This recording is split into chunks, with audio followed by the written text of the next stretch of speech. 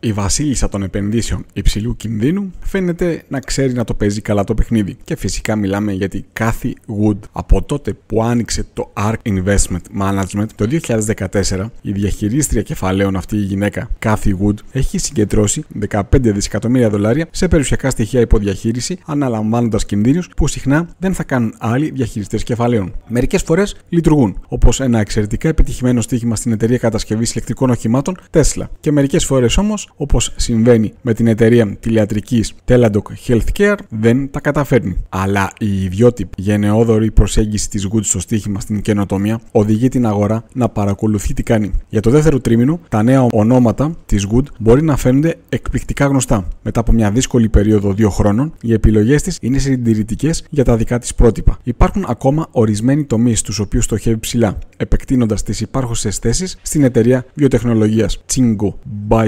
BioWorks Holdings με έδρα τη Βοστόνη και στην εταιρεία λογισμικού ρομποτικής UiPath INC καθώς η ARK μείωσε θέσεις σε μετοχές όπως είναι η DraftKings και η Shopify. Το εμβληματικό τώρα ταμείο της εταιρείας, το ARK Innovation ETF, έχασε περίπου τα 2 τρίτα της αξίας του πέρυσι καθώς οι μετοχές έπεσαν στα 31 δολάρια από 94 που είχαν φτάσει. Μέχρι στιγμής έχουν επιστρέψει στα 42 περίπου δολάρια. Έτσι, επιλογές όπως αυτές αποτελούν μέρος του σχεδίου επιστροφής. Σήμερα λοιπόν, στους επενδυτές παγκόσμιας κλίμακας, ένα ενημερωτικό και εκπαιδευτικό κανάλι, στο οποίο μην ξεχάσετε να κάνετε ένα like και μια εγγραφή, θα ρίξουμε μια ματιά στις νέες θέσεις της Wood όπως αναφέρονται από τα δελτία τύπου που έχουν δώσει για το δεύτερο τρίμηνο Palantir Technologies INC. Αυτό είναι και το μεγαλύτερο από τα νέα στοιχήματα της Wood. Ω εργολάβος άμυνας, η τρέχουσα στρατηγική της Palantir επικεντρώνεται στο λογισμικό ανάλυσης δεδομένων για να ενεργοποιήσει εφαρμογές τεχνητής νοημοσύνης. Τα προϊόντα της ήταν το κλειδί για τη διαχείριση της παγκόσμιας πολιτικής της πανδημίας COVID-19 και τη μάχη της Ουκρανίας για να αποκρούσει τη ρωσική εισβολή. Η εταιρεία ξεπέρασε εύκολα τις εκτιμήσεις για τα κέρδη του πρώτου τριμήνου του Wall Street και τα αποτελέσματα του δεύτερου τριμήνου ήταν εναρμονισμένα, αλλά οι αναλυτές είπαν ότι τα έσοδα από την πλατφόρμα Artificial Intelligence της Palantir ήταν μπροστά από το χρονοδιάγραμμα λόγω των κρατικών συμβάσεων. Η εταιρεία αύξησε την καθοδήγηση της για το δεύτερο εξάμεινο και βλέπει άνευ προηγουμένου ζήτηση, καθώς η τεχνητή νοημοσύνη κερδίζει δυναμική. Η ARK πρόσθεσε 6.842.989 μετοχές της Palantir κατά τη διάρκεια τριμήνου με κόστος 104 εκατομμύρια δολάρια ή περίπου 15 δολάρια αναμετοχή. Επόμενη εταιρεία Meta Platforms. Η Meta μίλησε για ένα μεγάλο παιχνίδι για τα avatars και την τεχνητή νοημοσύνη, αλλά τα κέρδη του δεύτερου τριμήνου οφείλονταν σε καλύτερα από τα αναμενόμενα αποτελέσματα στη διαφήμιση, ειδικά στα Reels του ανταγωνιστή TikTok. Η εταιρεία είπε επίσης ότι περιόριζε τόσο τις λειτουργικές όσο και τις κεφαλουχικέ δαπάνες περισσότερο από ό,τι είχε υποσχεθεί το 2023.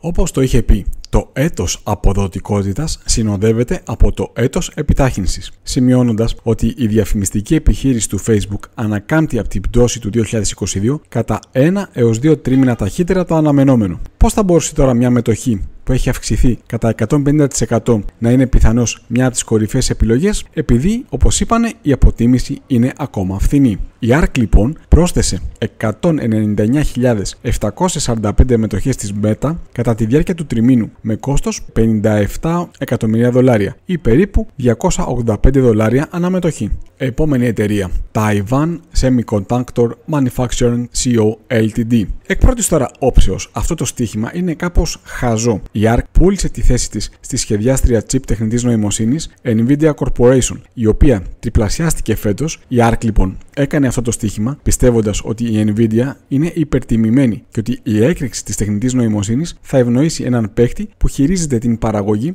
για πολλές εταιρείες που αγωνίζονται για να προσφέρουν μια εκρηκτική νέα αγορά. Η Good λοιπόν επένδυσε 14,6 εκατομμύρια δολάρια στον κατασκευαστή μυαγωγών με έδρα την Ταϊβάν, ο οποίος κατασκευάζει chip για πελάτες όπως είναι η Apple και επίσης η Nvidia. Στη συνέχεια λοιπόν η ARK αγόρασε άλλα 3 εκατομμύρια δολάρια τον Ιούλιο. Ωστόσο η εταιρεία Taiwan Semiconductor έχει αυξηθεί μόλις 2% μέχρι σήμερα, καθώς η Nvidia όπως όλοι ξέρουμε έχει υπερδιπλασιαστεί. Η έκθεση κερδών δευτέρου δεύτερου τριμήνου της Ταϊβάν απέτυχε να εντυπωσιάσει λόγω της χαμηλής ζήτησης για παραδοσιακά προϊόντα, όπως είναι τα chip για smartphone και φορητού υπολογιστές. Βλέπουμε λοιπόν ότι τα έσοδα πέφτουν σταδιακά το 2023, μετά από ένα πολύ ισχυρό 2022, με επιθετικές περικοπές παραγγελιών πελατών τόσο σε όριμους όσο και σε βασικούς κόμβους, εχμής λόγω αδύναμων τάσεων τελικής ζήτησης και αυξημένη δημιουργία αποθεμάτων. Πιστεύουμε λοιπόν ότι η κορυφαία ανάπτυξη θα επιστρέψει αλλά όχι το 2023 το 2024, με επικεφαλής τον τομέα των υπολογιστών υψηλής απόδοσης. Η ARK λοιπόν πρόσθεσε 144.738 μετοχές της Ταϊβάν κατά τη διάρκεια του τριμήνου με κόστος 14,5 εκατομμύρια δολάρια ή περίπου 100 δολάρια αναμετοχή. Επόμενη εταιρεία Sophie Technologies INC είναι μια εφαρμογή mobile banking δημοφιλής στους millennials. Μια εφαρμογή που δυσκολεύτηκε μετά την αρχική της δημόσια προσφορά στα τέλη του 2020, αλλά οι μετοχές της έχουν ανέβει περισσότερο από 75% φέτος. Η Wood φαίνεται να σχηματίζει ότι το SoFi είναι μια λεγόμενη ιστορία εχμή ή μια εταιρεία διαδικτύου που πρόκειται να γίνει κερδοφόρα και μπορεί να αυξήσει τα κέρδη πολύ γρήγορα. Το δεύτερο τρίμηνο, τα έσοδα 489 εκατομμύριων δολαρίων ξεπέρασαν τις εκτιμήσεις της Wall Street κατά 12 εκατομμύρια. Τα κέρδη πριν από τόκους, φόρους και αποσβέσεις, συχνά προάγγελος των κερδών όπως μετρώνται με γενικά αποδεκτές λογιστικές αρχές, έφτασαν τα 77 εκατομμύρια δολάρια, πολύ πάνω από τις εκτιμήσεις των 59 εκατομμυρίων δολαρίων. Η συνένεση της Wall Street αναμένει ότι η εταιρεία θα γίνει κερδοφόρα το επόμενο έτος. Η SoFi θα υποφεληθεί επίσης από την επανέναρξη των πληρωμών για ομοσπονδιακά φοιτητικά δάνεια, καθώς μέρος της επιχείρησής της αναχρηματοδοτεί φοιτητικό δανεισμό. Η Sophie συνεχίζει να προσφέρει βελτιωμένη κερδοφορία και στοχεύει στην καθαρή κερδοφορία, η οποία θα πρέπει να υποστηρίζεται από ένα βελτιωμένο περιβάλλον δανεισμού και έναν συνεχή ρυθμό αύξησης των καταθέσεων άνω των 2 δισεκατομμυρίων δολαρίων ανά τρίμηνο. Η ARK λοιπόν πρόσθεσε 281.770 μετοχέ στη SoFi κατά τη διάρκεια του τριμήνου με κόστος 2,3 εκατομμύρια δολάρια ή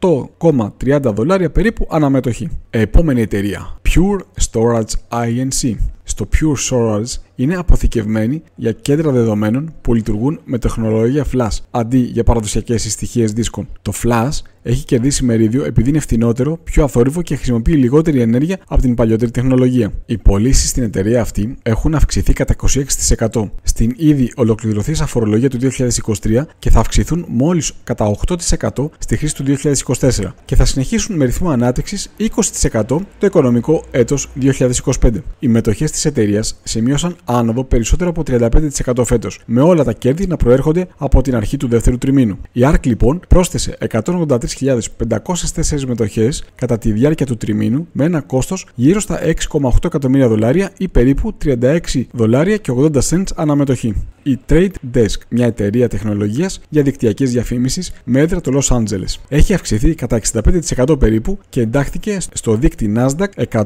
τον Ιούλιο. Ένα από τα κορυφαία προϊόντα της Trade Desk είναι το Unfiled ID2, το οποίο η εταιρεία αποκαλεί προσέγγιση ταυτότητας σε επίπεδο κλάδου που παρέχει σχετική διαφήμιση ως εναλλακτική λύση στα cookies τρίτων. Στους πελάτες περιλαμβάνονται η Walmart και η Warren Bros. Το Trade Desk είναι μια άλλη νέα ιστορία καμπής κερδοφορίας αφού απέφερε κέρδη 8 cents αναμετοχή το πρώτο εξάμεινο του 2023 μετά την αφέμαξη χρημάτων στις αρχές του 2022. Αλλά η τιμή τώρα της μετοχής της αποτιμά την εταιρεία σε περίπου 17 φορές τα έσοδα του 2024 και 43 φορές του επόμενου έτους. Πολύ υψηλότερο από το 2,5 φορές περίπου που υπολογίζαν τις πωλήσεις και το 7,3 που έχουν συγκρίσιμες εταιρείες. Η εταιρεία έχει τοποθετηθεί καλά για να επωφεληθεί από την ανάπτυξη στην αγορά της συνδεδεμένης τηλεόρασης και την επέκταση των δαπανών για ψηφιακές διαφημίσεις μεταξύ των εμπόρων λιανικής. Όπως λένε βέβαια και από την εταιρεία, εξακολουθούν να πιστεύουν ότι η μετοχή είναι σημαντικά υπερτιμημένη. Η ARK λοιπόν πρόσθεσε